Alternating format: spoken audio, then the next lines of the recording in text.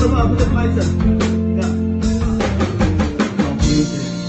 I can talk about anything, whether or not it's worthwhile it's based on who's listening. Most of us listen if it's something we can relate to.